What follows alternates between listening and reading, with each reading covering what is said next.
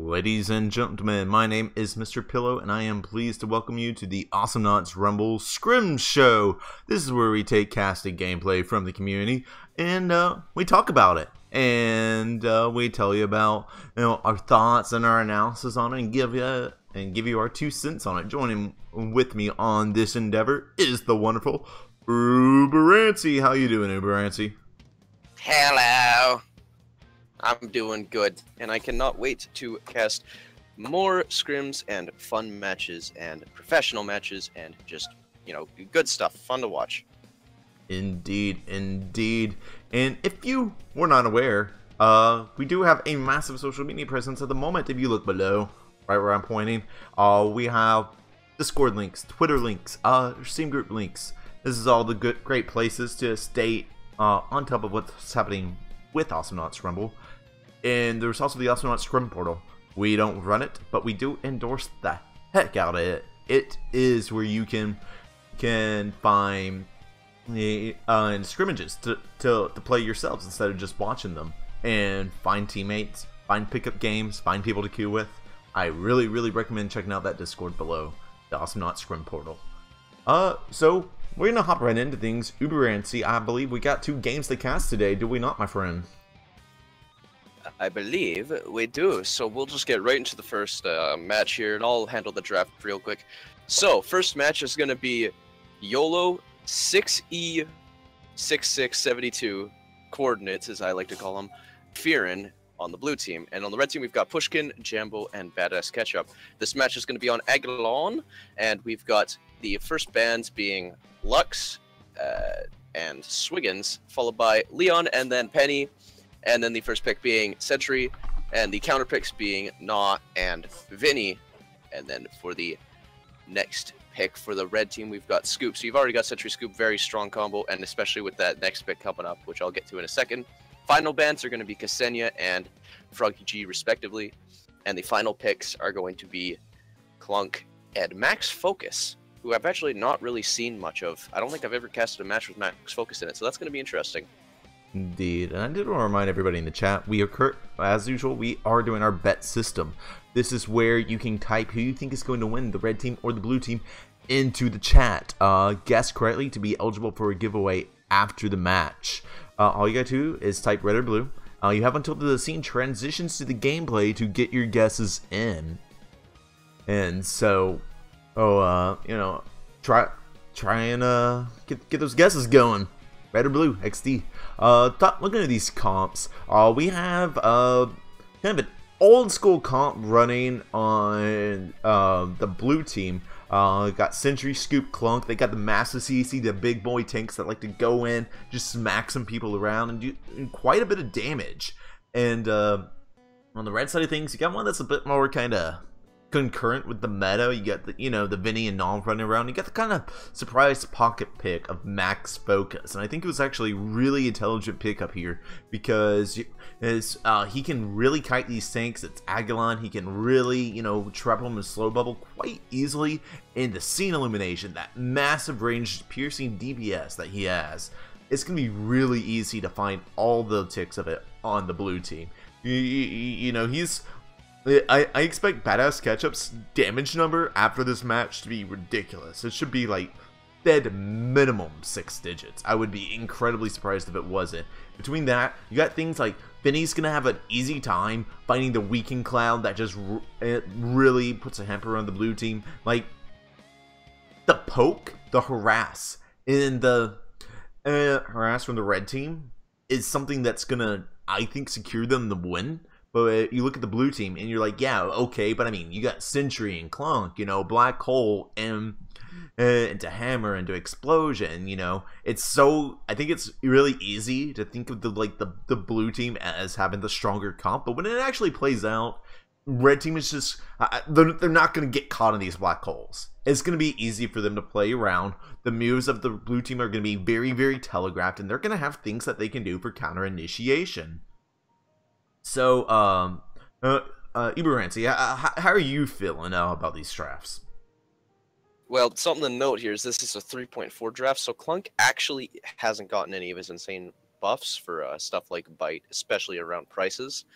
And so he's going to be expensive. A lot of the blue team has some pretty expensive builds. I mean, like it depends on how you build Sentry as well, but it's going to take some money in order to get the blue team to peak performance. Plus, with the weaken cloud and with max focus's damage, I feel like the blue team might have a bit of a rough time. It is Aiguillon, so you know you've got plenty of initiators that can get the invis, maybe do some work with that.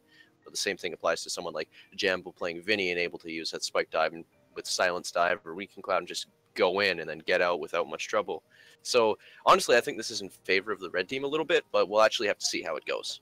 Indeed, it's the sort of thing like if the red team like slips up, obviously they get extremely punished. But I think that despite the fact that they're a lot less girthier than the blue team, the blue team is going to be pressured back this whole game, without a doubt. Red team is going to run circles around them because you know you got Gnaw who just automatically runs circles around everyone anyways and you got Vinnie that's like keeping them blinded, keeping them pressured, and then you got Max Focus like you can't proceed down mid without Max safely, you know, dealing massive damage to all of them. That said, we're gonna go ahead and get into this game here, and uh, and uh, I am at the 12 second mark, my friend. Would you like to give us a countdown? Absolutely. Oh, All I, right. I transitioned to the wrong thing. Wait, but- did you? Okay, What'd, so you, you screw up? okay, okay. So, anyways, uh, 12 second mark. All right. At the 12 second mark, three, two, one, go. And we're off on the red team. We have Badass Ketchup. Uh, that's the Cold Blood Killer playing your max focus. You have Pushkin playing the Doll, and you have Jambo playing the Vinny on the blue side. You have 6E playing Clunk, and you have Furran playing Sentry, and you have YOLO playing the Scoop. And uh, uh, immediately, YOLO is going to come out with the binding. So you're going to see a fight come out. We're going to see the uh, see a bunch of abilities get traded. YOLO almost about to die right there before even 30 seconds pass. Now Burns in a bad spot. He's going to get caught up by the Weed Slam. 6E's trying to get the explosion, and, and Pushkin gets out at just one bar. Now he's oh going to be going God, down for the bite. Massacre. Okay, so as I said, these guys are like their comp just is outclassed here. They just get circles ran around them. They found the explosion and they still couldn't catch the Gnaw because Gnaw. Jambo's just gonna Oh in. He's just so much death already. yeah, he's just spike dived into a scoop. Well, that had bindings ready at his turret, so I mean, not exactly the best of decisions there. Uh, and now- Quality professional gaming. And they are going to get some pressure off on the top lane as a result. Uh, so, Uberancy, what is the primary play that the blue team needs to make? Like, what should they be doing in these team fights, and how should they be handling the uh, time bubble, the scene illumination, and the gnaw of all things? Well, first of all, I noticed that they kind of split up a little bit in that first sort of, you know, just big old brawl there, and you know, Scoop was really low, and then Clunk went in after Scoop, and he got picked off. And then Fur got picked off before that as well, but Clunk's actually going to pick up a frag here on Cold-Blooded Killer. And then Yolo is going to pick up the frag on Jambo with that asterisk. Maybe he made a spell mistake, I don't know. But that's two nice skills for the blue team here, but you know, just, they've definitely got a lot of potential to, uh, get these frags with the amount of initiation they have and just with Clunk, you know, even with 3.4 Clunk, Clunk, or no, might actually go down here, but oh, 6E's in a terrible spot, but the bite is gonna kill, oh, it's gonna kill Pushkin, but the Weedling or BOT or something of the sort is gonna be able to pick up the kill on Clunk, and Cold Blooded Killer's gonna take such a ton of damage, the hammer already hits him, so that an extra range hammer damage is not going to affect him second times it comes around. Now YOLO's kind of hurt, there's a nice hammer, he's gonna get some healing from that as well. There's there's a lot of stuff already. We've already got seven kills this game, and it might may, might be eight. and It doesn't look like that hammer's gonna miss, and Yolo's gonna have to back off. But he, with Cold Blade Killer, he's just going in. Oh. He's gonna go down. But at what down to YOLO cost? Sword Strike, but then Jambo's gonna pick up the kill on YOLO. Why? There's so many people dying. What's happening? Uh, it feels like there's definitely a bunch of extensions. Jambo just gonna be caught out on the lane rotation and does not see it coming. He thought he just had a safe flank there, and you know they were just waiting on him and just completely erase him. Now Pushkin's in a black hole, but there's not gonna be any follow up. He is gonna get some residual damage. Actually, gonna get Pushkin to half. Taking a look over these builds, we see something kind of interesting going on with the Gnaw. We see um actually DOT damage first pickup and then life steal. What do you think about that first pickup of DOT damage? And what do you think about like for example the microfilm that's coming out on Sentry right now? Well, when you've got someone like Vinnie who's got a very wide AoE, that's kind of you know a sort of almost I'd like to say ease of use right click. I mean the damage is very good once you get some upgrades for it, and then you know you need to aim it a little better if you say get uh, double spikes on spike dive. But that's not going to be too hard for Sentry here for uh, Who's playing Sentry? Fur. It's not going to be too hard for Fur in order to get a fully charged black hole like right that right there, but Jambo's going to be able to dive out before 6E can get that uh, clunk nuke. But he's going to have to run away here. He's going to get a bite on Jambo. Jambo just trying to go in, maybe take some damage, but Pushkin's going to take even more. He's going to pick up the kill on YOLO, though. Jambo is going to pick up the kill on YOLO, not Pushkin. Pushkin almost dies, but he's able to get out. And more death, more destruction. Already 11 kills before the 4-minute mark, which is pretty insane, I got to admit. But we've got Fur going to try to shield that spike dive. Not quite successful. There's the black hole. It's going to do a lot of damage. Push gets very hurt. Jam's going to take solid 400 damage. The bite! The bite from 6E. Going to get another kill on Pushkin too. I guess Gnaw just, uh, I guess Clunk just really likes the way Gnaw tastes. Maybe like, you know, some sauteed Gnaw, whatever race Gnaw is. But either way, we've got cold-blooded killers trying to try to you know throw out those time bubbles and you know put in the work, which is actually bad as SketchUp. Try not to be confused from this very elite name, but cold-blooded killer, throwing out the taunts, and he's trying to get to the invis plays here. He's got the time bubble here, so he could try to go in, maybe use the scene illumination. It looks like that's what he's going to do. He's going to avoid that bite, get the nice juke, and there's the time bubble. That's a nice, hefty slow. I'm not exactly sure how much it is, 50%. 50% slow that goes through walls and all sorts of stuff can be very effective if applied correctly. And now he's just going to be able to clear bottom while the blue team is just jumping around, trying to get some stuff done. First, going to get the teleport. He's going to get above the red team here. He's going to maybe try and catch a black hole at this uh, jump pad here. Pushkin's going to be able to steal that creep, though. Oh, Jambo.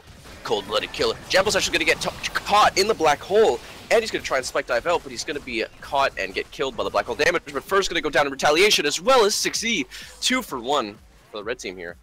And they're going to have some potential push here because it's only Scoop here, and you've still got that Gnaw and Max alive. So they got some serious push potential right now off of those frags. Indeed, and oh, and YOLO, he's not he, he's not really in a position to defend. Binding still has another seven seconds, and you know there's so many droids. He's up against you know Max Focus, who just pretty much completely outkites the defense that YOLO has to offer outside of the usage of his abilities, and it's just not a good scenario. They're getting those turrets really chipped, and like the, I think the amount of push that the red team gets off kills is higher than the amount of push that the blue team gets off kills. So like these trades, and especially considering, you know, all the different upgrades that, you know, the red team can get access to, such as Amp, Rabbit Teeth, Weaken Cloud, the massive damage that Spike Dive has. You know, these trades are in favor of the red team, not the blue team at the moment. We do have some interesting pickups. Oh, they're going to get caught in the black hole, and there's that black hole into explosion combo that we were talking about. That badass ketchup is going to be unquestionably killed right there on the top lane. And now they already got the droid set up, and they might get some push off of this. Uh, we got the um, Binding's coming out. It's the Holy Cup is actually going to keep the team set up. There's the explosion. He's going to get out just a bar, but at what cost? S6E now goes down to the DOT. I think that was actually more or less a good example of what happens when you don't buy enough damage. Because look at this guy. He's got one stage of explosion, but you know, he's buying all these utilities like Boots, BKM, Snare. Snare makes a difference here. YOLO going to be taken out on the lane rotation, just kind of overstaying his welcome, getting too distracted with the Gnaw that he doesn't realize that the other areas are denied. But like, okay, like the boots and BKM don't aren't really making a difference in these team fights. Furrin gonna find Jambo again right in the pocket. Both teams being extremely aggressive. Dang. Pushkin uh, is gonna get denied there. But the point is, is like, now he's got a second stage of explosion damage. If he had had that earlier, that would have been a kill and he would have been alive. Like, damage is your best defense. And, and just kind of relying on all these utilities that didn't really make a difference. That is a nice black hole, but it's not going to be enough. And they are going to find the follow-up. That would have been a simple kill if they had just been a little bit more faster. Kind of reacted a little bit faster. Unfortunately, they did not. Um, and now we have uh, the blue team. We got Clunk waiting up at the top bunker. He's kind of convinced that they're not going to fall for it. Uh, they're not even going to try and push it a little bit, not going to try to find the like auto attack chip in, for example, with the Clunk and they're just going to rotate up top. They're a little bit separated. I feel like red team is a little bit better together now, except now they're going in. They're actually going to find Jambo. We got a massive black hole, but the explosion is going to be a whiff, and the black hole is going to be a whiff. That could have been a sick gank, but they did not get the black hole in the right moment and just completely mistimed everything. Jambo's going to be getting out a bar. Uh, Baz Ketchup is creating space. Pushkin is going in at 1 HP. That was not his best decision. He's going to be taken down to 60, which is going to be eliminating the amount of pressure that uh, Badass Ketchup got off on his kill of Burn. Now 6E, he's getting incredibly low. He's going to have to go back. He does have his creeps there. He can go bind him. He can get a full health relatively fast. He is Clunk. But uh, while he's doing that, Jambo is going to manage to uh, take out the bottom turret. And now they're in a position where they can really easily just sneeze on that top turret. There's not really much the blue team is going to be able to do to contest that at this point. It's it's not a matter of if the turret goes down, it's a matter of when. But they will, before that win happens, get some more push on the top lane. Oh, badass Pushkin gonna get caught in the black hole. Blue team does not want to commit to that. They know they get they will get counter initiated on incredibly hard. And now we have the entirety of red team going to be dodging the hammer on down the bottom lane and looking for lane rotations. We get invisible Vinnie. He's not exactly sure what to do with it, but the Vinus gets caught out. Um, and uh, yeah, Scoop is going to get collapsed on, but still be full health because Scoop and uh, Black Hole onto Pushkin. They actually might find this, but 6E does not go in on that for some reason. Instead, he's uh, trying to scare Jambo off. But now they find Badass Ketchup instead. Are going to take him out. Arguably better. And uh, now Jambo is going to get caught out again. This is going to be two for nothing. It's like they saw that play and knew not to use their stuff on Pushkin. I don't know how. But uh, uh, now, two for nothing. We should see some big push. They might possibly take a top turret off of this now if they act quickly. Uh, Pushkin does have two lanes to defend. They already got rid of those droids and they got a, a wave of droids escorted up. Pushkin is not even contesting it. Yeah, so they take this turret 100%. It's uh, Pushkin seemed really convinced that they were going to take out that bottom turret. Now Max Focus is in lane. They're going to have access to this Invis. Blue Team's comp with these Stealth Orb is extremely scary. And they have map control right now, which means they can time it. I believe it spawns once every minute and 20 seconds. So they they can really Oh, but they're gonna whip all their abilities. There is the bindings, but there's the scene illumination. Oh, there's the man. spike dive. There's the gnaw. That's a oh, double kill. Man. And Sentry's gonna teleport home. That was such a sad whiff because I was just saying about how amazing you know their comp was with the stealth, but then ah, that's that's got to be frustrating. That's got to feel bad. Burren is getting really aggressive, trying to create some space. He might get body blocked here. He's very fortunate that Jambo didn't find that spike dive. Now, the blue team is in a very bad position. Even after they got that momentum swing back, they just already lost it. What do they need to be doing right now to stay in this game with Rancy? Uh, not with their abilities might be a good start. But I'm not trying to be mean here, but they have been missing those abilities, like in those team fights. Like they get the invis, but then they don't land the black hole or the explode, or even both. That it's just they can't get the kills because there's a lot of squishy characters on the red team here. Like the character with the most health is actually non-Vinnie or tied for it with like less than 2,000 each anyways.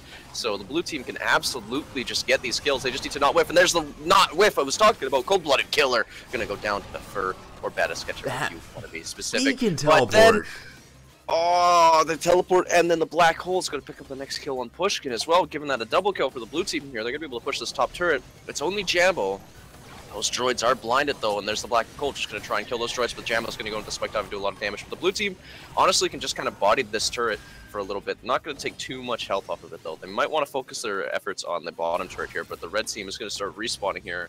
Max Focus already back as well as Pushkin right now just drop it and They're going to buy some upgrades if they have the money for it, and they're going to come back. Here comes Max Focus. Cold Blooded Killer coming in with the scene illumination with that extra duration and the uh, sort of burst shot after uh, after using it at the end. Is going to do a lot of damage. Like Max Focus's damage is just really great against a team like this as well because they're all going to be kind of standing next to each other, you know, lined up get that get the collateral with the scene illumination. There's the explode coming in. It's only gonna hit Pushkin though, but the bite is gonna do so much, and Yolu's gonna pick up the frag with the bindings with the cold-blooded killer getting chased back. I keep calling him cold-blooded killer, and not bad as catcher, but that name is just so amazing. Well, I want to point out. Uh, Furno is in a position where he could have used this beacon. I'm pretty sure they would have actually picked up a double kill if he had been do that, because he had even been staying back. He might have taken a residual bit of damage or something. I don't think it was DOT. But now Jambo gonna get caught out. There's the snare bite into explosion. He's barely gonna survive that though. He does get that weakened cloud. In the meantime, Basket, he's actually going in wow. 1v3. He finds YOLO. Damage. And he's getting good damage and he's going back in. He actually might pick this up. He's gonna get by though. Will he manage to find it? He's gonna manage to pick up the creeps and do half the damage to oh, and kill him with one. Oh, there killer. it is. Oh, oh my god the big plays. Cold-blooded killer going to secure the team wipe.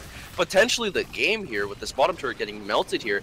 Wow, I think I think Ketchup might have just pulled the play of the century. Better put that in the highlight reel, and you've got just the man for it. Max Focus here, and YOLO's just sitting in spawn trying to buy some upgrades. You got that damage on Hammer, but it's not going to be enough. He's, he's stuck by himself defending. You've got that slow-mo. He's going to take too much damage. Like, a Spike Dive Fear will kill YOLO, or the Plant Slam. He's going to have to go back. And that's the game. That is the game for Jambo, Pushkin, and Badass Ketchup, and they're going to be able to pick up the easy win after that insane play from uh, Max Focus and get the victory at 13 minutes in. Literally a 1v3 wipe and then just wins the game off of it. I I, Yeah. gotta say, I'm impressed. It's the That's name, man. It's it's the power of the name. It's just too elite. killer. Oh. Like how I don't think we've had this happen in any of our Rumble Rumble streams before. Like you can usually tell when a game is getting close to ending. This was literally like they hadn't even taken the back turret, then just out of nowhere, Bad Sketchup pulls out a one v three triple, and then they win off it, just like that. Like that simple. Like, okay, then that happened. You know. Yeah, that, that was that was a very frag heavy match, guild heavy match, death heavy match, however you want to say it. But you know, frag just sounds cooler, bro, for all, for all those Quake players out there. Shoutouts, but you know, you've got like 31 kills throughout the entirety of a 13 minute game, and just like the insane, pretty much triple kill from uh, Badass Ketchup there, cold blooded killer. And he's just going to be able to put in all that work. He's got all that damage on scene illuminations. He, he's also picked up a the extra damage on your auto attack on Floodlight after you uh, don't use it for a few seconds. So he can go in with the scene illumination and the slow mo, use the scene illumination, and while he's using it, because of the duration of uh, the scene illumination, he can use his auto attack afterwards and do like 250 damage in one auto attack shot, plus the 400 damage burst from scene, illumination. Even though he only hit Clunk at about, I'd say, the 12 minute mark, he only hit Clunk with like a short portion of the uh, scene illumination but he did like a thousand damage just with like the last 20% of scene illumination plus an auto attack shot plus the slow mo and more auto attack shots. It's like so much bloody damage against tanks. It's ridiculous.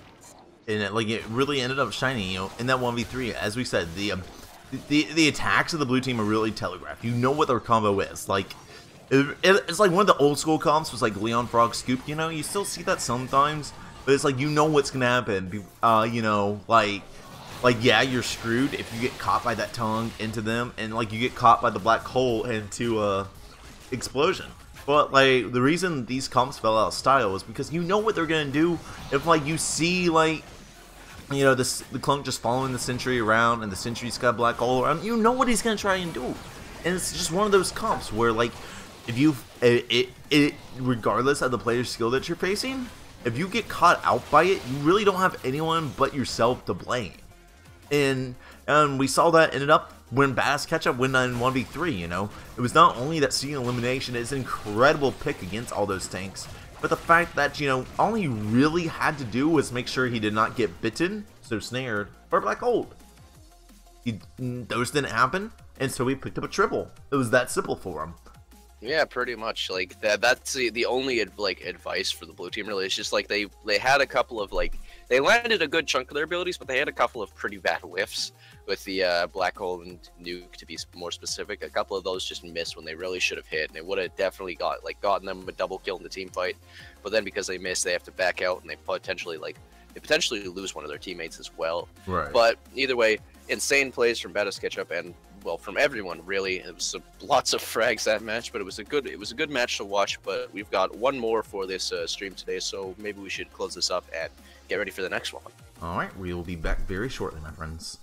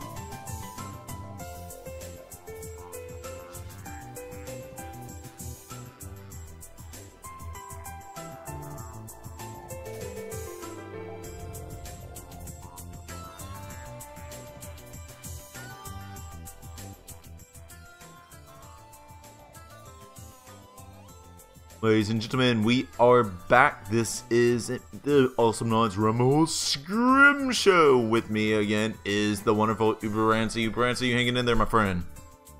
I am hanging in there, I suppose, and I am ready for the next match. But before we get into that match, we've got a, couple of, uh, I guess, a couple of plugs here that we want to talk about, and something that everybody likes. But first, we need to talk about the Skoldir Showdown coming up. Do you have uh, any information on that?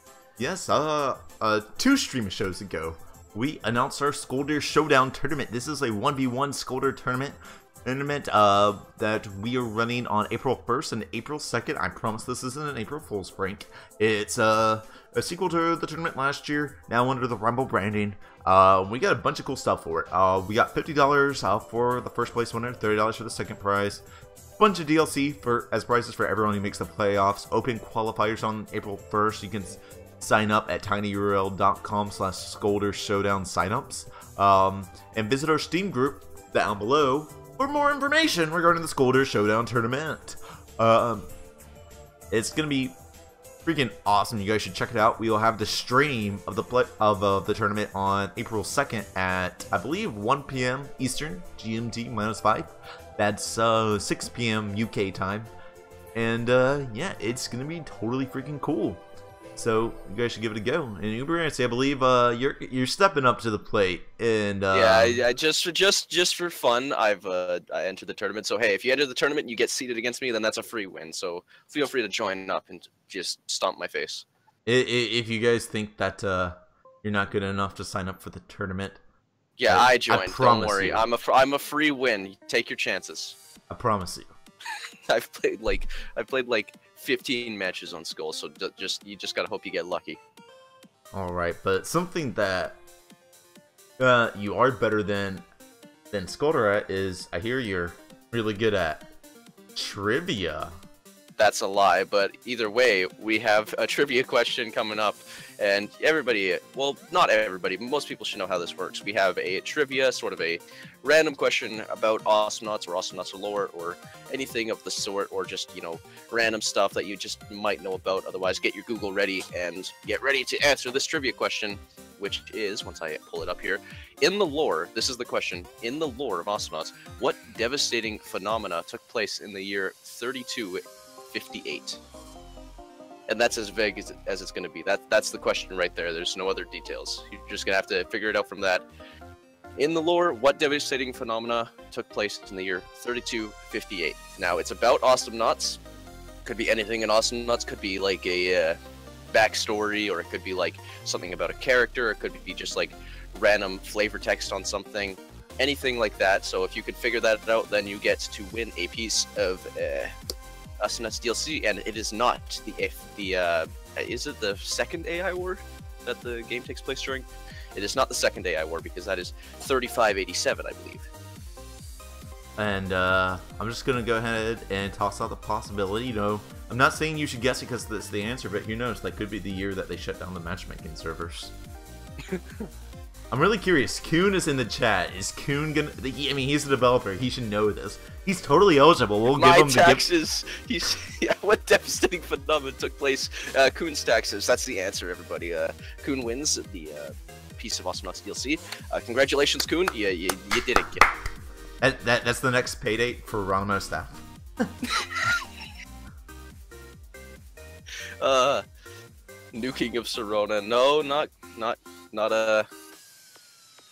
Not yet. That neck beard shaving. Oh, I'm loving these answers, but they're not quite uh, right yet. That Should we- is should- that not how you spell devastating? Yo, I'm gonna Google this. Oh no, it's an A. It's an A uh, instead of the second E there. So yeah, it is spelled wrong. Rip. Aww, Devastating. But uh, Ripperoonie. should we should we give him a hint or uh, no? Uh, hmm. Well, I'm, th- I'm thinking of a good hint. Alright, so the answer is in the flavor text of an upgrade. And, Yeah, uh, that's that's what a lot of the answers come from, but not most of the time. But yeah, that, that's that's pretty much it. and now uh, that we just got everybody to crash uh, the Nautsbuilder website, haha. Yeah, we, we just we just single-handedly crashed uh, Gamepedia, uh, Wikia, uh, Nautsbuilder. It's all it's all gone. They're all dead. Sorry. Our mistake. I like how everyone's guessing the AI war, but we already said it's not the AI war. Uh, no, clearly it's not. It, it's an AI war in an alternate universe. Clearly. Oh, it's true. We didn't guess alternate universes. Oh shit. Oh, I swear. Whoops. No, it's bad. Bad. I can't do that. This is supposed to be family friendly. Well, that's Here's one devastating phenomena for 2017. Oh damn! Called out. Oh, there's another I'm devastating phenomena for 2017. Oh 26 Star Wars film is released. no, no! You guys, you guys, you guys are guessing the wrong AI war. It's clearly the twelfth. Okay, the twelfth AI war. Okay, do these guys need another hint? I can't believe Kuhn doesn't know this. Oh my gosh. Well, I guess he wants to keep it fair because he might, he might know it. But Oh uh, yeah, not yeah, very convenient, Kuhn. Uh huh. Okay, pal. Hmm. Hmm. That's your hint. That's Uh, going. The flavor text is on a naut that we saw in the previous game. That rules it down to one of six here. I'm, I'm pretty. So you're gonna have to. You're gonna have to. You know, go to that past broadcast or find the viewer link, and yeah, you'll be able. You'll be able to figure out. It's one of. The, there's. There were six nauts in the last uh, viewer link. We're not gonna just straight up tell you, but it was one of the nauts that was played, not any of the banned nauts. So one of those six nauts in the flavor text of one of their upgrades, like that. That's only like I don't know, 18 times. That's 18 times 6, so it's just like, uh, what is math? Don't worry about it. Uh, it 108? I think there's 108 different upgrades there. So, you know, out of one of those 108 upgrades is where the flavor text, where it states what we're looking for here. We don't really want to have to give more hints because you've already got it pretty narrowed down. And I mean, you got to work on your Google Foo, man. Or I mean, like if you're a weirdo, Bing Foo, I guess. See, I, I knew you were a trivia master. Oh, yeah, Trivia Master. I can Google stuff. Oh, hell yeah. Meep 21XC. I'm, I'm gonna take that. That's that's close enough. Yeah, yeah, you know what? That's right. Meep21XT. The I'll just uh, explain what the answer is right here. The answer is drone swarms. Max's focuses flying camera upgrade is where the flavor text uh, is, and the flavor text mentions that there has been that it has been freed from the rebellious AI since the devastating drone swarms of 3258. So Max Focus's upgrades. He was in the last uh, last match, so you know you got to work on your Google Foo if you weren't able to get it this time. But hey, congratulations to Meep21XT. You're gonna get a piece of Awesomenauts DLC.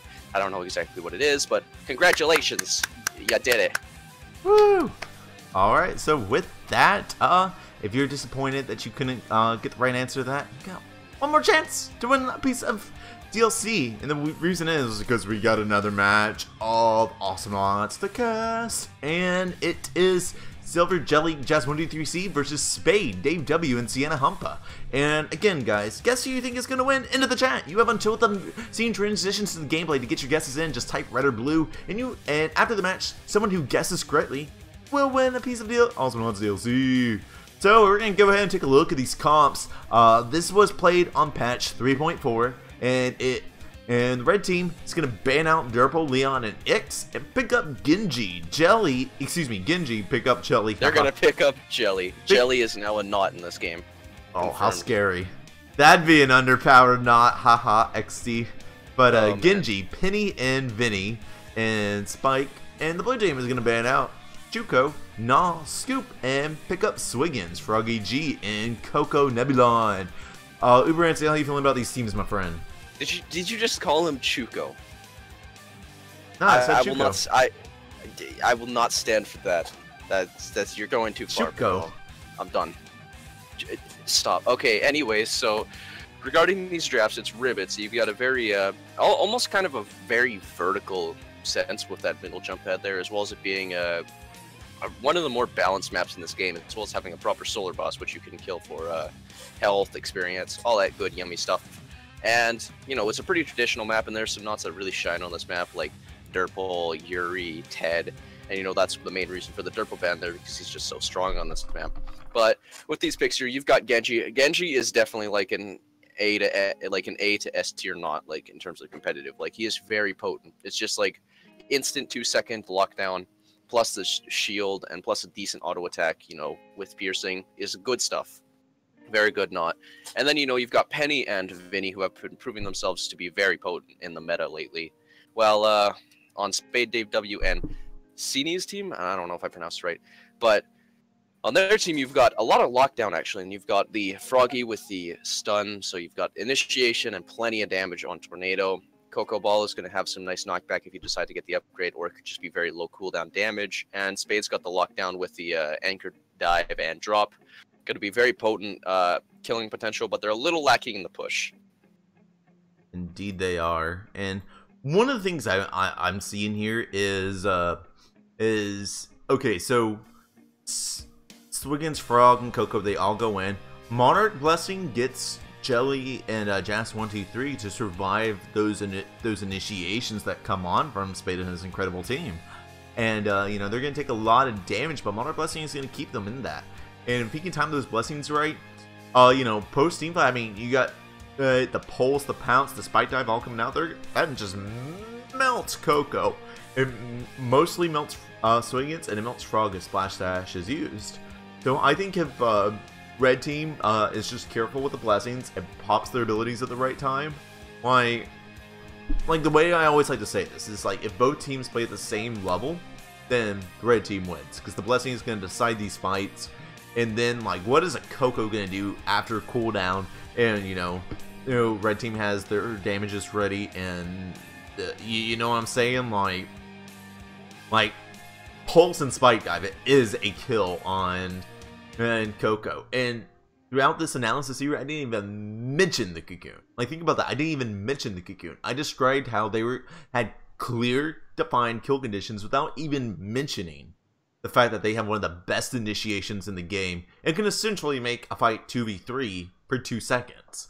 Like, tell me that it's not incredibly scary. They have the potential of having two silences, like the Weaken Cloud. I think that this is really going to go in Red Team's favor right here.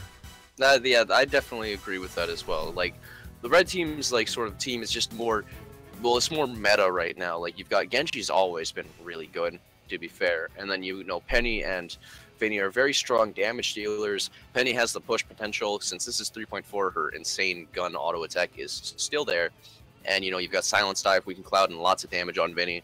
All sorts of great stuff, and plenty of push as well as kill potential, and uh, you know area control, and you know denial and counter initiation. Pretty much they got the works. Like they can do what they want. So unless the blue team here can get some like Spade's incredible team can just get some crazy outplays, uh, this is definitely in favor of uh, red team here. Yeah, they have to they have to really be careful on the team fights that they pick. They have to find people that are by themselves, find them overextended, catch people off on the lane rotations. They cannot take a clean 3v3 team fight or they will lose. I, I agree with that. But either way, we should get into this match. Don't you agree? Let's go ahead. I am at the 12 second mark, my friend. Would you like to give us a countdown? Absolutely. All right, 12 second mark. Three, two, one, go. And we are off on the red team. We have Jas123C playing the Vinnie. We have uh, Jelly playing the Penny. And we have Silver playing the Genji on the blue team. We have Spade playing the Swiggins. We have Sienna playing the Coco. And we have Dave W. Dave W. Frog. We didn't even mention that. It's done. Dave W. dashes all day. And there's the Dave W. dash right off the jump pad. They done. It's that simple. Oh yeah, definitely. But we've got base abilities because you know you still have to buy your abilities and all that garbage. I am 3.4, so you know first droids are coming out. Here comes the initiation from Dave W. But the cocoon, you gotta love it, is going to cancel that uh, tornado, stop the red team from any harm. With a little bit of uh, you know some abilities coming out here and there, some right clicks, some left clicks. You know a little bit of damage. There's the pounce on Dave W. But not too much single damage from uh, anyone here except for maybe Penny with some uh, nice combos or Froggy, but you know then you have to catch someone out. So really, it's just going to be a lot of team initiations, hoping to get a kill and you know outplay the enemy team. With Silver being a little low here, he's getting chased by Dave W. We have the dash, but he's not going to go in with it. He's going to get out instead. Might be the smart play there, so that because he might get a Genji kill, but then he will probably die in exchange. With Silver being super low, he's going to have to teleport out. Here comes some attempted initiation from Spade. Jelly is in a bit of a pickle. He's going to be able to walk back to the turret, though. Oh, but gets Ooh. a Ball to the face. Knocks it could have been first blood well. if they reacted to that in time. Yeah, but, but Penny's really good at countering knockback due to her uh, pretty, in my opinion, pretty stupid uh, like quadruple jump. It's really wonky with knockback sometimes. But Dave W is actually super hurt. Gonna be able to dash out though. Call me crazy. I'm pretty sure that first spike Dave. Oh, that was almost a nice frag on the lane rotation, but Dave got the the uh, creep in time. But oh, that pulse! Actually, this, that's gonna have to wait a second. There's gonna be the marketplace. There's gonna be the anchor hook right in front of the turret. There's gonna be a splash dash up. Red team's gonna take bottom up. Uh, blue team's gonna have to fall back and heal. But uh, when Dave got initially caught in front of that turret, I'm pretty sure Jazz actually missed that first spike dive, and then they got out with like a bar. So that's gotta feel bad. I have to rewatch to be sure, but I'm like almost positive it was like right in front of it. It was like he was actually trying to get the people that were uh, be coming in to save Dave. They were just like abandoning, and then Dave's like, "Okay, never mind. They didn't kill me," and just of walked out for free. Yeah, I, I, you know, sometimes that's just shenanigans you have. It's just I don't know. I'm trying to think of a witty response, but screw that. Let's just talk about builds instead. We've got damage coming out uh, from Spade for the anchor dive. Well, they're actually they might take for the solar boss. Oh, he does. Oh. Okay, this Did is Dave gonna be a big w fight. This is gonna that? be the first blood. I'm not sure. I think I saw someone else spike up. It was actually incredibly hard to tell. It was really close. But uh, no first blood there. That came really close. Like that was again the Monarch blessing, just saving the Genji's life there. He was hooked down, collapsed on. He manages to get out. He's already got stage of spiritual cooking. And okay, so we already see damage coming out on Penny and Vinny. They know their roles here. You got Chrome File, you got Starstorm Statue, and Jazz is going to take a lot of damage, and but he's going to get out. Like what? He's actually going to dodge the uh. lightning ball. That was actually incredibly close. That was good awareness. So he's not going to get fragged there. Like once they get their damages, like they're they're already surviving the initiations. Like imagine once you know you know they do an immense amount of damage, like and really fight back and you know cocoons through kills then these team fights are going to keep doing what they're happening, but with not without oh. light frags here. This is going to be it right here. That's going to be the first blood, the 3 minute, 41 second mark. Just cocoon into Pulse, just completely done. Nothing that the blue team could have possibly have done to get them out of that. Uh, but uh, they are going to maintain mid. We're actually going to see some teleports back. And uh, Dave is going to go ahead and clear that up. Dave mistimes the splash dash, so he's going to take the spike dive. He's going to get cocoon up and oh, jump at it. He's in a really bad scenario, and he does not have his... Oh, the spike dive is going to be missed why. But I'd like to point out something here. You know, if that dive had hit, that would be really bad for the blue team. Uh, on red team here with the, the Jellies team, you've got a, like I feel like the red team knows that if they can get a couple of kills going and they just start stacking that damage and you know the spiritual cooking, they're gonna be able to snowball like all hell. And they've got decent push as well, not spectacular, but you know piercing auto attacks and a little and some solid structure damage from Penny as well. There's a nice cocoon on Spade. The pulse is gonna miss because it was too early. Classic. But either way, we've got not too much happening. In fact, the red team seems to have uh, sort of had the downside from that initiation, the disadvantage, and taking a lot of damage. They're just going to hang out behind turrets, make sure that they don't get uh, anchor hooked or something in a really terrible spot, and some defense. Lightning Ball's barely going to miss Jelly there, with Jelly with his ridiculous like triple jump on Penny. Uh, Penny's mobility is not the most fun to fight sometimes. It's just very annoying, you know, as suits the playstyle of Penny a lot sometimes.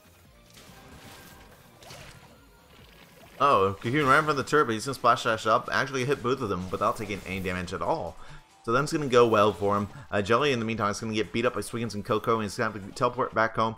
Actually, she's trying to decide if she should stay, but nah, she's gonna go. And uh, yeah, um, Blue Team is really doing a good job. Uh, uh, taking a very hard control of mid. They're getting their abilities off as soon as off, they're off cooldown, constantly poking at the red team, constantly whittling down their HP, and just doing a good job at controlling the creeps. Dave W is probably taking more red team jungle creeps than the red team has. Yeah, to be perfectly honest, they're trying to interrupt the solar boss, they're trying to interrupt the lane rotations, they're trying to make the plays is you know they got to be careful they screw it up which they have a couple of times and gonna relatively unpunished for it only been fragged once on the screw ups you know, it can go bad for them, but if they can keep the Fine East going and just, you know, to keep control of that, that's there's going to be the Cocoon and there's going to be the Clown. The blue team's just going to choose not to take that team fight. And now they're going to go back to rotate. Like, they, they know how the, these comps work, is what I'm seeing here. They know not to take the 3v3 team fight because they know they're blinded. They know they're going to get against shielded opponents. But when they're but they're constantly finding the Pokey Splash Dash, the cup, the Pokey Anchor Dives, and the Pokey Lightning Balls, and just trying to keep the pressure. Then there go here it goes. There's the mid contest. They're gonna get incredibly low, oh, and Jelly's actually in a really bad spot. Ball. And oh, just a lightning ball. There's that's well, gonna be a two for nothing. But oh, Jassie's okay. That splash shot is gonna be a miss. They actually managed to just go in. Dave W found all the nado ticks. They managed to find the lightning ball, and so despite the Monarch blessing, the excellent tornado tracking coming out from Dave W. They really secured that team fight, in my opinion. And, you know, he managed to like have one person on each side of him inside that little top broccoli bush. Uh, uh so you, you, you know what I'm saying? Like, like that was so much damage that I don't think the red team expected the blue team to win to to land when they went in, and that secured that team two for nothing. They got some great push off of that. They got a level advantage. They got solar. And uh, right now, red team is actually going to be taking mid, but okay, they, because they kind of they did go ahead and take the solar boss. That's kind of what happened there. Uh, Dave took some damage, so now they're going back in. They're chasing red team out, and now it's going in a lot more favor of the blue team. And you know, they pull off another play like that. Their mid control is going to be a lot harder to contest, and there's going to be another miss spike dive of Jazz missing the stationary solar boss. We'll pretend that we didn't see that okay. Yeah, don't worry, I actually didn't because my camera was somewhere else. So don't worry, he's safe from my eyes for now. But we got some anchor drops, anchor dives, etc. coming out. Dave W's gonna get cocooned, stuck in that nado. Not gonna have nado for a while now. Jazz is super hurt actually, but he's gonna be able to get away here. The Coco DOT from Blaze is not gonna be enough. You know, Easy. we're seeing a couple of pretty important upgrades here. Uh, sorry for. No, you're fine. You know, I, I, all right, but we're seeing a couple of pretty important upgrades here. Like we've got double spiritual cooking and DOT on Genji's auto attack. That's a little bit of cheap damage. Like, like it, you know, it stops people from teleporting. It's not the best upgrade in IMO, but it, it can still be effective sometimes. And you've got double spiritual cooking, which is going to be a lot of extra health in team fights for the red team here, especially since they don't have the most beefy characters. And then you've also got knockback. You got Thunder Striker on Coco as well as double damage on Lightning Ball. So that Lightning Ball is going to be, it doesn't have a super low cooldown yet, if he plans on getting that, but it's going to be very annoying with all of that knockback, the mini stun, and it's going to do like 600 damage. Like, oh, and there's the blessing coming out. We might see a big fight coming out. They, oh, he actually got that health. Uh, they could find a cocoon right now, but actually, Jas is gonna have to spike dive away. Sienna Humpa is totally on point with these lightning balls. He barely misses. He always finds the lightning ball damage in a team fight. Usually hitting at least two, if not all three members. He's always doing something with it to make himself uh, being contributing something incredibly useful. There's going to be a pulse off the jump pad, and uh, they're just going to keep cleaning up. They didn't take like the pounce, for example, there to cancel the tornado. Like they didn't want to fight them. Like blue team is like uh, just doing really well in these uh, team fights, and despite the fact that I, I still insist red team has a much more superior comp the blue team is really doing a good job at making these fights matters. And but now this might not be a good fight with a whip dash. Dave W incredibly low. He's gonna manage to pick up both the creeps. There's gonna be a lightning ball. Dave W is gonna dash out, but the oh, DOT is the gonna DOT be the last hit. Genji. Wow. There was nothing that they could have done. You know, the attacks are piercing. You know, Sienna got the lightning ball trying to buy uh, Dave time, but you know that was just a, not a good dash. That was not a Dave W dash. Um, uh, and uh, so now that's gonna be a one for nothing. Um, they're actually they might actually take do a really ballsy run at the solar boss right fat right quick. They are. The red team is not aware. They're not trying to interrupt it. They could totally contest this right now. But Sienna is just going to stall. I think they figured that it is one of those moments, those things where it's like such a bad idea to take the solar boss in that situation that they couldn't, that they didn't want to they the red team didn't think the blue team would. And I think that's what Spade was banking on. Oh, they're going to find Jelly. The entirety of Blue Team is just going to find the insta-give right on top. That's one of those incredibly synchronized kills that looks simple and quick and easy. But oh. oh, the counter initiation. What a lightning ball. What a lightning ball. Completely sniped. Wow, okay, like that that was good. I want to make a point about the, those two frags right quick. Oh my gosh, they're tanking this turret. Okay, so a bunch of people are like, oh, burst meta is so mindless. You just right click in at the same time, and you know, there's no counterplay. It's so simple.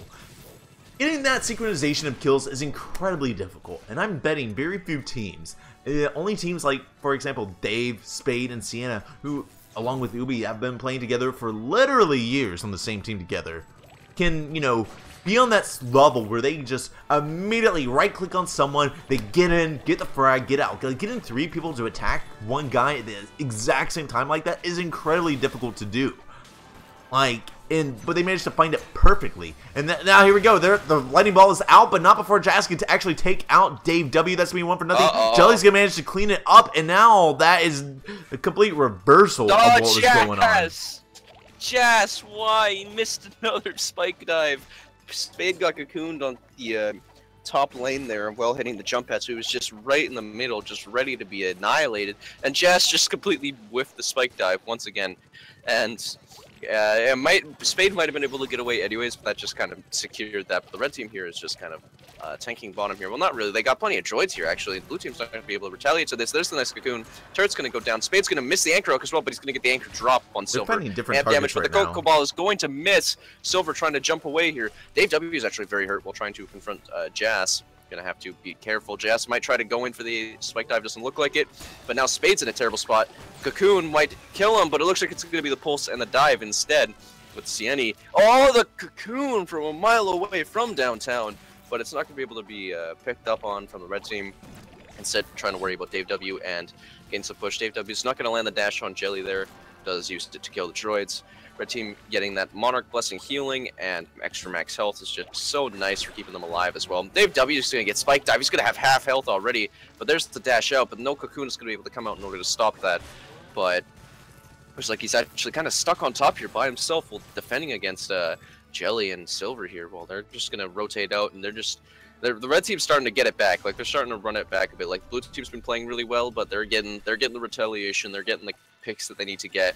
The nice cocoons coming out, the nice right clicks, and it's doing plenty of damage to the blue team here. So now they're a little more worried, and they have lost their bottom tower, so a little more even here. Dave W's taking that solar boss while Spade's just going to clear uh, bottom here with Sieni, trying to get some poke with that Coco Ball. I mean, it is like it's 700 damage, I think. He's actually got blind on it as yeah. well, which Not is the three blind. second blind. Not back and blind. Think about how annoying that actually is to get stunned, pushed away from the fight, and then blinded, and you just don't know what's going on. But they're going to be going in. Oh, there's an, there's the whiffs. Blue team can take this fight. Oh my gosh, the health denial. Dave W is going to go ahead and take out Jazz. Now they're going to go oh, back please. in. They're going to uh, find the anchor Silver. dive, and then oh, he's going to go down. And Jelly has Jelly. to go home. He has to heal up and get some charges. And the blue team is just going to get some amazing push of this. Dave W is going to opt to go ahead and start split laning. And uh, he's going to get that taken out. They have the lightning ball, but he's not going to get detonated because the silence actually prevents that. He actually might pick up some frags here. He should be going in. Oh, he finds the no. pulse, and that's going to be a clean one for nothing. And uh, he already has some charges. Dave W is just not paying attention. He's like, I don't care. We're pushing right now. This is happening. And he's going to do Froggy G things and get attacked on and then splash dash out while getting that turret down to 50% HP. Uh, he could have potentially saved his teammates. I think he didn't want to sacrifice the push. I'm not sure if that was worth.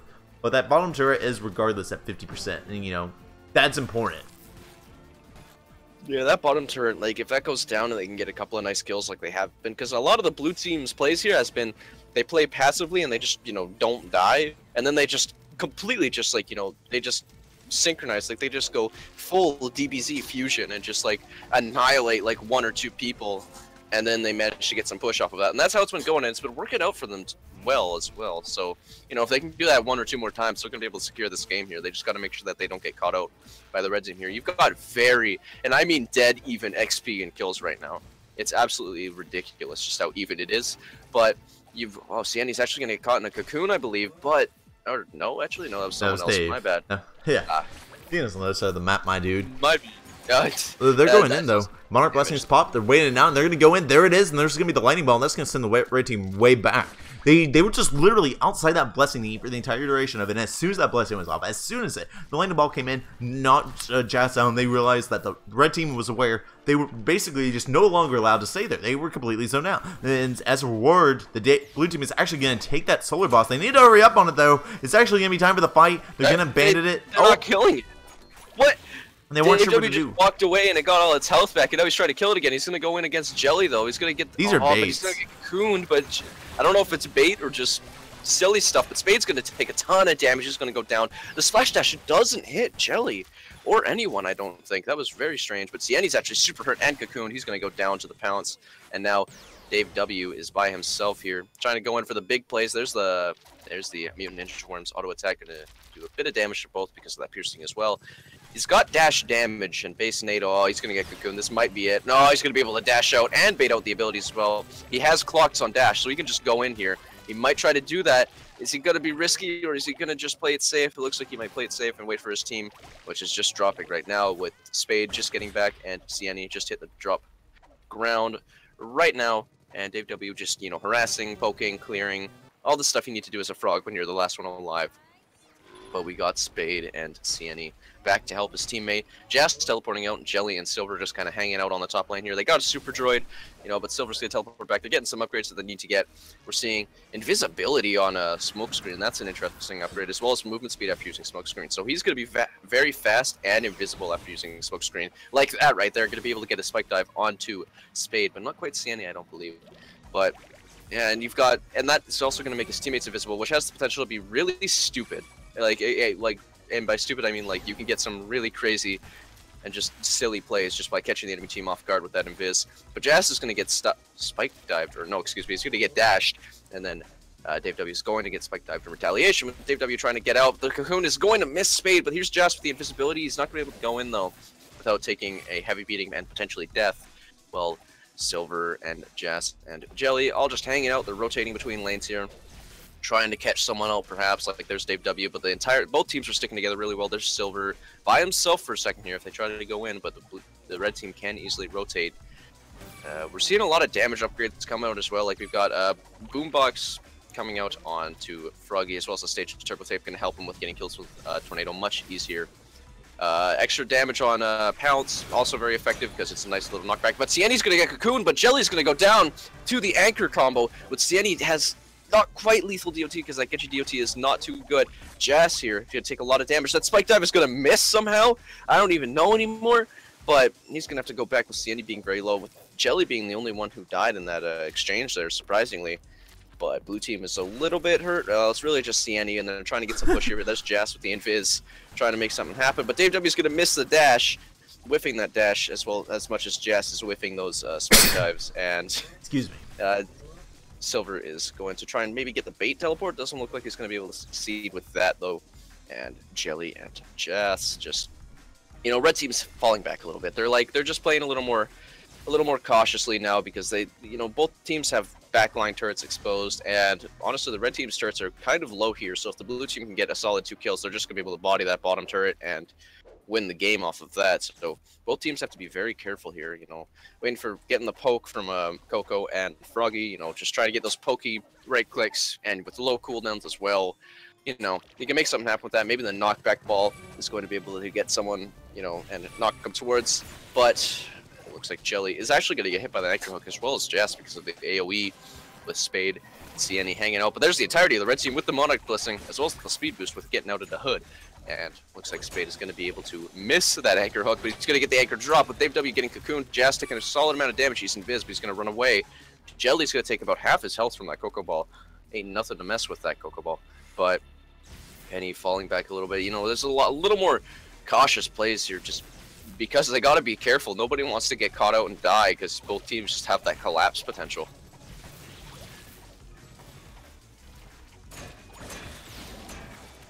Uh, looks like we got Silver going to take a lot of damage. So Jelly's actually going to get the kill on Spade with the auto attack, though. And we've got Cieni and Dave W hanging out on the bottom because their teammate has gone down. There's the Coco Ball going to do a lot of damage to Jazz, as well as the 3 second blind because this is 3.4, which is quite insane.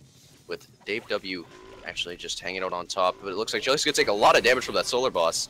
If he, if Dave W can go in, he's not going to be able to hit a dash because Jelly decides not to go to that top lane. Sandy's going to get cocooned. There's the Solar Boss dead for the red team, going to give them some extra experience. And Solar, Dave W's in kind of a bad spot if he gets chased. Jelly's going to miss the pounce though, but Jess is going to only hit a little bit of damage from that spike dive. Sandy is now caught in that cocoon, but then there's the dash. Oh, this is going to be a big initiation here, but Dave W is super hurt. He's going to get collapsed on. He's going to get killed by the pulse from Jelly. And Jazz is going to pick up the kill on Spade as well. Sieti's super hurt. Oh, that's a team wipe. That's the team wipe for the red team here. Jelly's going to get two frags during that exchange as well, putting in the work there. 8 and 3, doing the damage that he needs to do. And they're just bodying this top turret here. And by bodying, I mean melting it because it is going down extremely fast with the red team all dropping now. Still another 10 seconds before any of them are really there to uh, defend. They might actually be able to win the game off this. I don't think so. They're going to do about a third of the health. I feel like they could have okay. squeezed in a bit more, but they're going to get out and play it safe, which might be the right uh, decision. But that's base exposure as well for the blue team. Bottom turret is not too hurt for the blue team. Bottom turret is very hurt for the red team, though. And, well, any big team wipe might win the game at this point, though I'd say it's more in favor of the red team. If the red team gets a team wipe, like, it's over, they win. But if the blue team can get a couple of nice frags and push that bottom turret and then just keep pressure up, they might be able to win as well. So both teams kind of have a win condition here. They're going to take a lot of damage from Jazz's spike dive, though, and he's just, he's trying to fall back. But Dave W is very hurt. Coco Ball's coming out, but he's going to go down. Jazz is going to get the kill on Dave W with Sieni.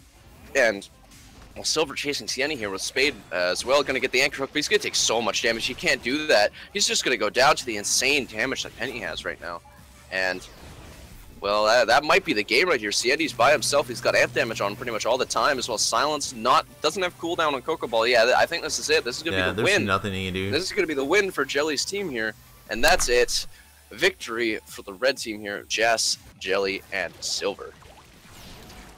Indeed, that that was a very interesting match, and you know, blue team did a really good job maintaining pressure, maintaining mid the whole time. And then they just had that one team fight where like uh, they uh, the red team just managed to land all the damage and just everything went basically just according to plan. And that wipe alone just kind of really sealed the fate of the blue team. And then when they got back in lane and kind of were at their last chance, Jazz just kind of cheekily did that a thousand damage out of Stealth Cloud. And then just the blue team was completely discombobulated. They took the team fight when they shouldn't have. They we should have fielded back, and even though that would have meant getting pressure to, back to their base and letting some chip happen, I think that was better than taking that team fight there, because there's no way they won that team fight. And because the Blessing was still ready and everything, they were ready at half health. And uh, as a result, you know, look where we're at now.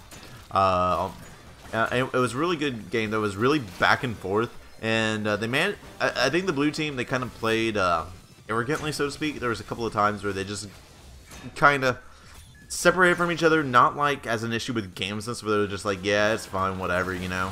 And I think they, I think there were times that felt like that they underestimated the red team, and then that would lead to the red team getting frags. Absolutely. I mean, like, the blue team was doing really good in that first half of the match. They were getting the poke that they needed to do, and they got a couple of really nice, just, you know, collapse frags, just, you know, collapsing on one one or two people, and then, well, they're dead because you have so much damage, but the red team can do that, and they can do it better and safer. So the blue team was really just outdrafted here, and once the red team got to the late game, you know, they had so many damage upgrades, and the blue team was playing a little too aggressive. Well, I wouldn't say aggressive, but it's just, you know, they had a lot more trouble getting a frag compared to the red team here. And I mean, looking at the kill cam reel, you can see that, like, yeah, sure, the blue team would get a kill, but then they would all be super hurt, and the red team could potentially pick up two. And it was just, it started to, it started to all come tumbling down for the blue team at that uh, second half of the match, and they were just getting killed too much, and then that team wipe kind of secured it, even if they didn't lose the base on it.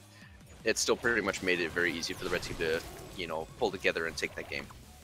Um, indeed, I completely agree. Uh, anyways, that's going to wrap up our scrim show for today, ladies and gentlemen. I hope you guys enjoyed it, because I know I did. Uh, we do run every week at Thursday, 12 p.m. Eastern. Uh, that's uh, 9 a.m. Excuse me, yeah, that's 9 a.m. Pacific. That's 5 p.m. UK time. Should always be sure to check it out, because we're always happy to bring you a couple of scrims. Always happy to do a couple of giveaways. Uh, you get to see Uberancy's beautiful locks. And, uh, yeah. Oh.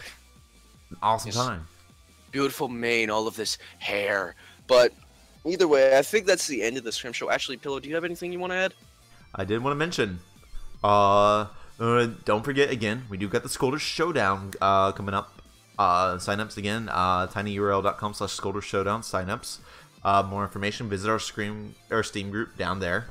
And uh, uh, I also wanted to mention again the Awesomenaut Scrim Portal. That is a great place to find new teammates. It's a great place to if you want to get into the competitive scene. The first step is to join the Scrim Portal. Like it's we're a really great community. We really love uh, to meet new people and you know scrim with new people on our teams and against. But in you know you got to join the community in order to be a part of it. So all you gotta do is just join the scrim portal. You know, look around for scrims. It, I really really recommend it. The link to that Discord is down below again. And uh, if I were you guys, uh, everyone kind of sees it as an off time at the moment for competitive scene. Uh, you know, the doubles tournament uh, wrapped up, the Arena League tournament uh, wrapped up, and you know, uh, the ALWB I believe is uh, about to wrap up this weekend, which you guys should check out by the way, twitch.tv slash Games.